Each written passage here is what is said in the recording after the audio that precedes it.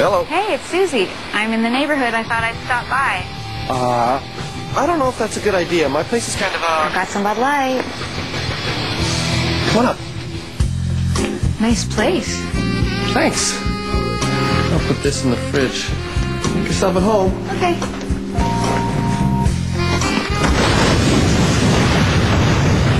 With a great taste that won't fill you up and never let you Hey, down. a bowling ball.